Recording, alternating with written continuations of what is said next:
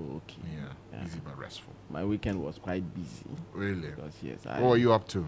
I lost two relatives. Oh, dear. and eh, over the weekend we there was a funeral. Oh, and, you, and you didn't tell me anything about it so I can come in. Oh, Oh, it's never too late. ah, Mutala, no, no, It's no, never don't too do late. that. Ah. Nipa ni any power. What's that? Oh, no, no, no. No, the funeral itself is coming up in the village, When? in the in the western region. When? So the date is yet to be fixed. Ah, so this one week. This is not one week. So It was a family meeting. no, the two bodies were buried on Saturday. Okay. You know, they stayed in two different places, and the place where they are well known Mhm. is the village far away in the western region. Ah, so the Ah, city was to so- bury them here. Yes. And then the funeral will be done in the- there. okay, Yes. So okay, we performed the burial ceremony here over the weekend. Mhm. So the real burial, I'll invite you No and the whole house. Okay. Yes. Yes, Chief. no problem. So you have, you have you have found a way to escape no. escape my haranguing hands uh, of demanding that you do better, but it's fine. Okay. Anyway, so um, today is Monday. Yes. Parliament is not sitting, but the court there full As for session. court, you lie. Even Talk when to they're on vacation, they still have how to find a way for some of the court to sit. Anything is Yeah. possible. So there's no break any day. Any No, day. no, no problem. so today the on the Kasoa ritual murder. Yes. What's become of it and what's happening in court today? So, Francis, it is one of the cases that I always say that when I talk about it, the emotions are always very high because when you you see through the trial, you see through the times when parties are giving evidence, mm-hmm. testifying, and all mm-hmm. that. i- i- It's really, really very tough to, to, to, to, to sit through a case like that. But of course, the nature of our work is such that you have to go there and be professional enough and come and tell the story as it is. It is the case that virtually every time that it comes out, you see people in tears in, in, in open court, whether they are directly connected or people who are there to listen to what is happening. Yes. There are tears all over. And this is the case that um, the father and mother and sister of one of the accused persons, uh, the 15 year old ju- uh, juvenile, were in court to testify against him. And so you understand the setting, you understand the situation we are talking about. And this is the case that two uh, teenagers, one is 15 years at the time the incident happened in 2021, and the other one is also uh, 18 years, so a juvenile and a young offender. Today, Justice Lydia Osei Marfo is expected to sum up the trial. And summing up the trial means that the court is going to summarize the whole trial, the witnesses that were called, what the jurors are supposed to look at, what they are not supposed to look at. And in fact, whatever the court will say is not binding on them. The reason that they are in court, they are they, they, the jurors, and in some way they call them uh, judges of facts. So they listen to whatever has happened, and at the end of the day, they return their verdict. Today, the court, this is what is going to happen. The defense lawyers and prosecution will offer their final addresses to the jurors. Then the court will proceed to sum up the trial. Then after the summing up, the jurors or the jury will retire to chambers. They have their office.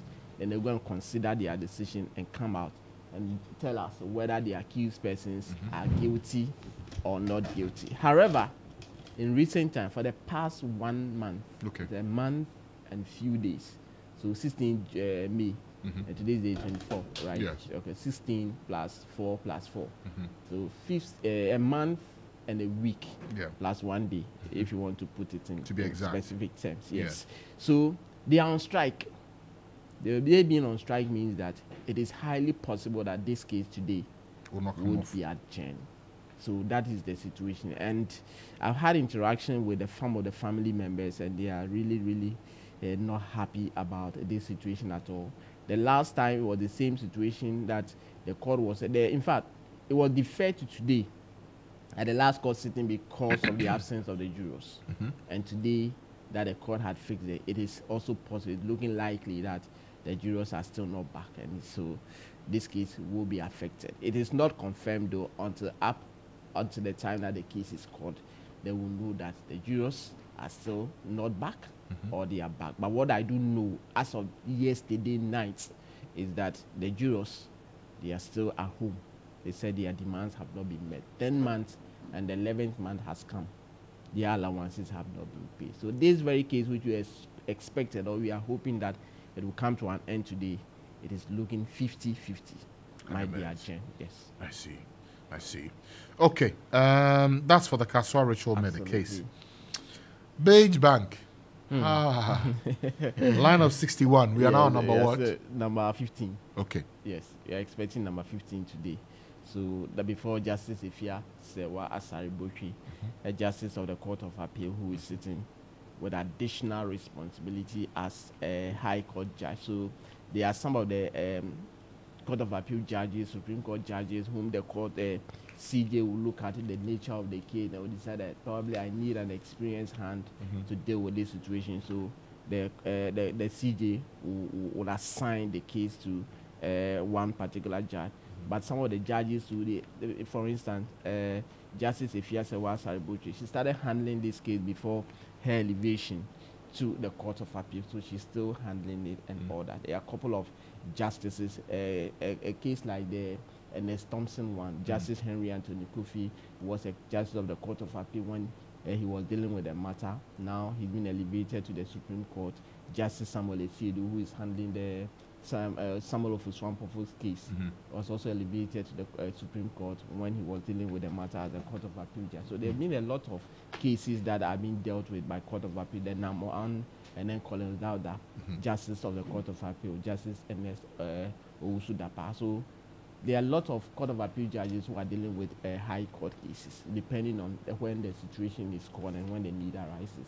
So today, um, Michael Nyinaku will be calling the 15th witness before Justice Afia Serwah Asare-Botwe and his lawyer is Thaddeus Sory. So we expect the witness to come to court and testify. Then we'll know what more will become of the remaining uh, witnesses that he has in, indicated that he will be called, whether he will end it here or whether he will call more. And you remember that he himself has also filed a witness statement to testify. So he wants all the witnesses to come and after he will, he will sum it up.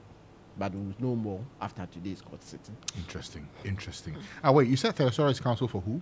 Um, Michael Nyinaku. He's also counsel for Jakpa. Yes. Okay. And he's also counsel for uh, Alaji Collins. I see.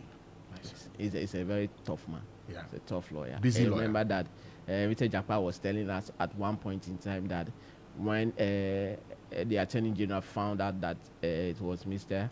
Um, Thaddeus Sory Mm-hmm. who he has uh, hired as counsel, he said, Why have you brought this hot headed man to come and destroy my case for me? And I said, Yes, I know he's a, he's a, he's a very uh, good lawyer. That's why I've hired him to pay him big money to come and represent me. So Thaddeus Sory is a big lawyer. So the big uh, cases, all the clients will be looking forward to to bring him on board. So that's how come you see him in some of these big, big, big, big cases. And though he's also counsel for the Speaker of Parliament. Remember the LGBTQ? Yes, Ah. he represents the, the Speaker of Parliament. So Parliament. Thaddeus, sorry. Yes, Thaddeus Sory. Okay. Yes. Good morning, sir. Wherever you are. Very, very busy man. Yes. eh, eh, eh, How many years at the bar do you know? Uh, I'll find out. I But- don't know. but- I don't know. but he's he's senior. Senior. Yes. He's a senior. I'm sure he's done about At 20. one of the one of the uh, court sitting, notice that the day Justice Ifyasewa Saribuchi was having issues with Sami Jemfi, Yeah. and the court indicated that Sami Jemfi a senior member of the bar, and Sami said no, he's not senior. Mm-hmm. And I said, how old are you at the bar? And he said six years. Yeah. And that your sorry says to be a senior, you have to be ten years and above. Yeah. Yes. So it means he's for now we know that. I'm sure. I'm sure he's close to 20 years at the bar. At the pub, most, I suspect so. Yes, I suspect so. Yeah, Anyway. he's, he's, he's had a lot of experience, and I won't be surprised that he's been more than 20 years. Yeah, yeah, yeah. But what is clear is that to be a senior, you should be more than 10 years. 10 years. 10 years, then you're yeah, senior. yeah, senior. So until then, you are counsel. Uh, yeah. Yes, counsel. uh, junior counsel. Ju- Oh, Uh, maybe. So Junior. they, they have the junior, and then uh, how do you put it? intermediate. Uh, let's leave it.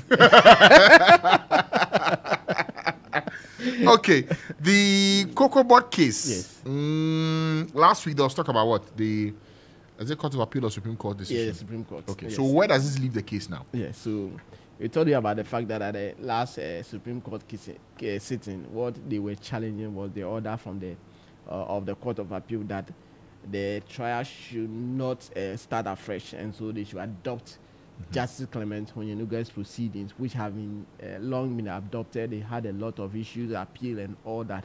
So the trial is ongoing, as has been directed by the Court of Appeal. So it means they have adopted Justice uh, Clement Honyenuga retired um, proceedings, Mhm. and it's ongoing. They were hoping that the Supreme Court would overturn that, but that did not happen. The Supreme Court re- uh, reaffirmed the Court of Appeals decision, so the trial de novo won't happen. So they are continuing. So today we are expecting a businessman Seidu Agongo Mhm. and his company, Agricult Ghana. So it's Dr. Simikono Puni, the first accused, Seidu Agongo, the second accused, Mhm. and Agricult, even though it's not a human being, it is the third accused. Mm. And it is being represented by Seidu Agongo. So they are calling their witnesses together.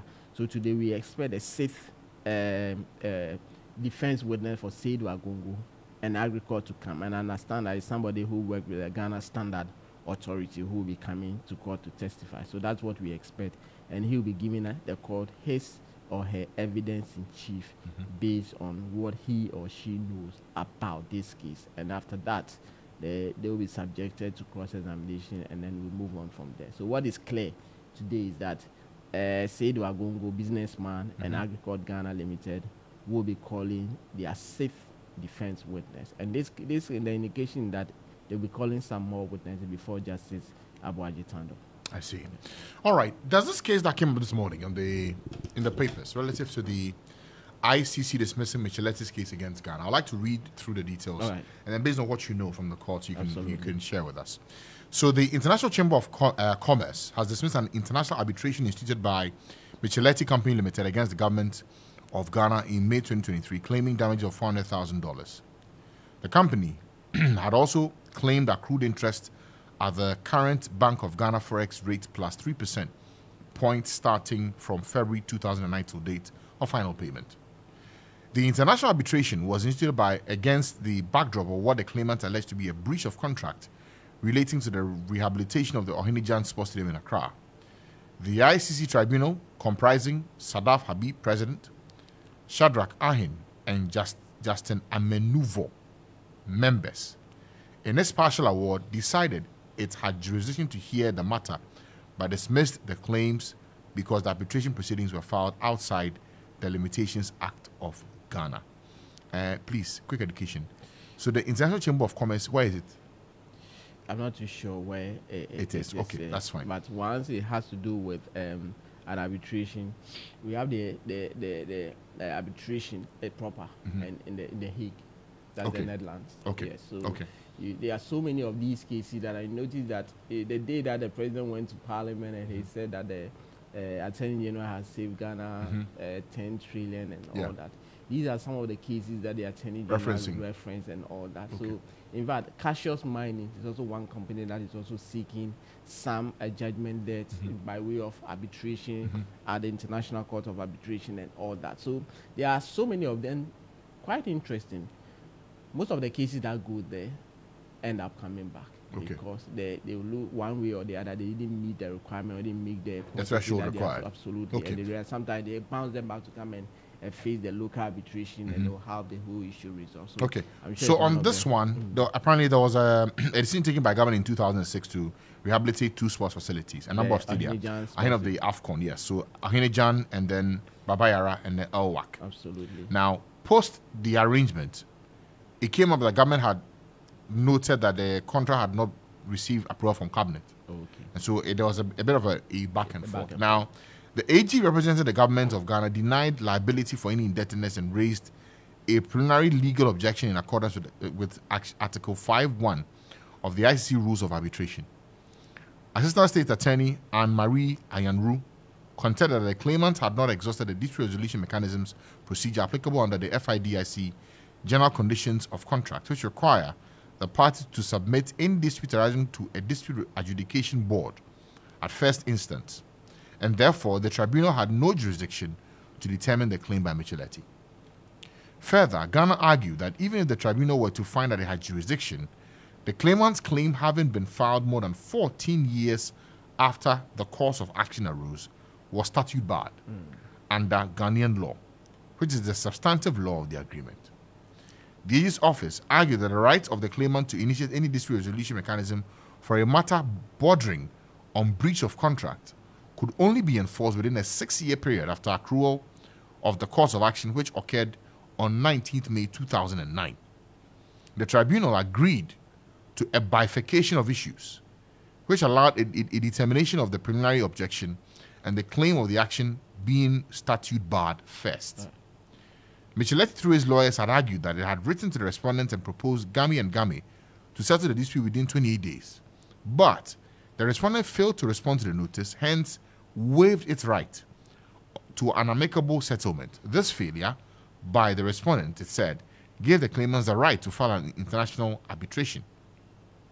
The claimants further relied on Section 25 of the ADR Act 2010, Act 798 of Ghana, and argued that the respondent did not raise any concern on the dispute resolution mechanism in response to the claimant's letter of March 20 last year, and that the respondent acknowledged receipt of the letter.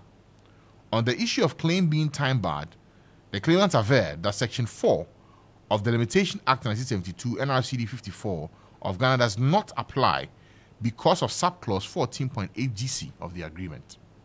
It also argued that under Kenyan Arbitration Act, which was the seat of arbitration, uh-huh, so now we found it. Yes.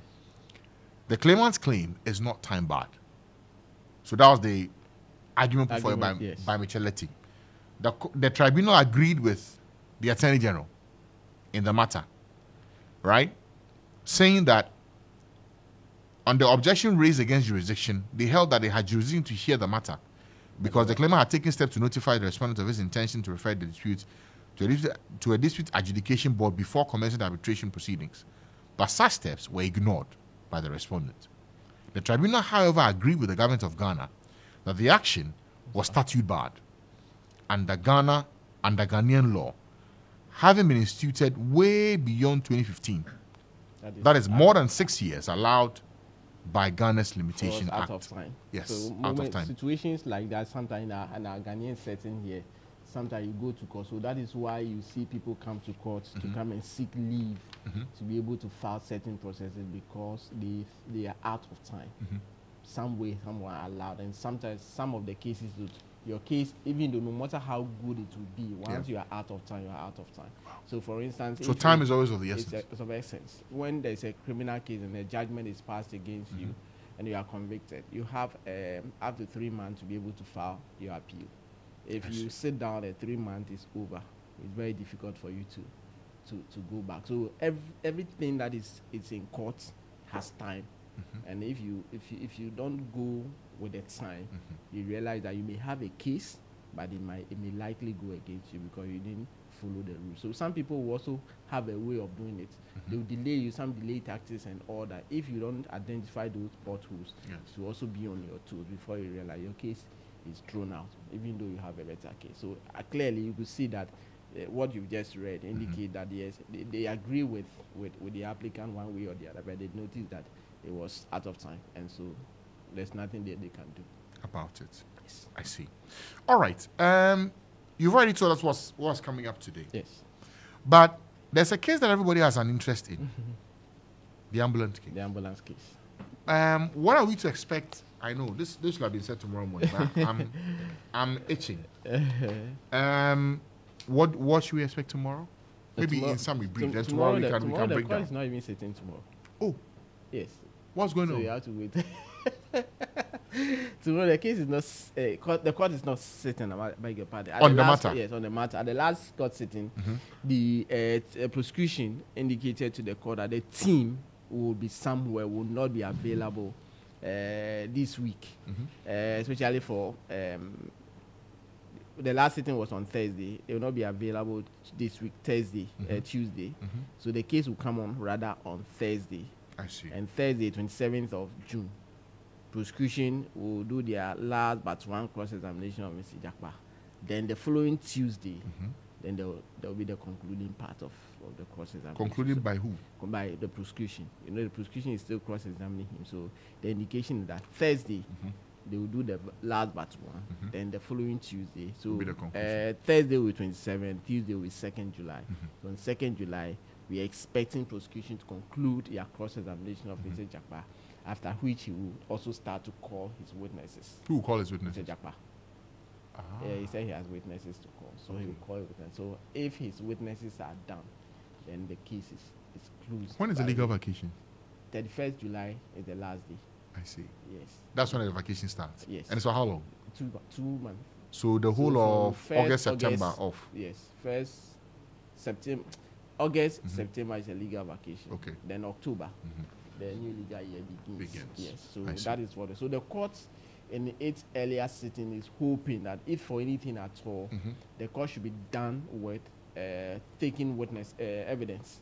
So if Mr. Jakpa is done by the end of July, we should be done with his witnesses if possible, Mm-hmm. so that when the court goes into the vacation, its mind will be on writing The judgment. judgment, and then the parties will be given So, opportunities. so the closing argument will be done yes, so before the break. Absolutely. So no, if we are done with with with taking off uh, witnesses, Mm-hmm. Evidence, the court will give the parties timelines to file their written submission, their addresses, Yes. and that one will be time bound. So far within this period, even it could be in the course of the legal vacation, Mm. then uh, the court will fix a date within which the new legal year to deliver a judgment. So that's how it works. So if we are done, if the court is done with taking evidence, Mm-hmm. then nothing should stop the court. So when you go to through the throughout the legal vacation, the court mind will be only on preparing The the, judgment. the judgment. Yes. So that's what Justice Afia Serwah Asare-Botwe has Is hoping to do. Yes. So this week you have a short break until Thursday for the ambulance case too.